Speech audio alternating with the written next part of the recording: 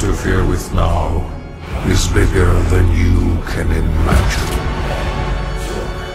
If you continue, you will bring down the heavens' wrath.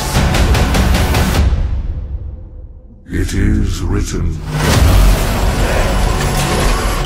It is their time to give penance.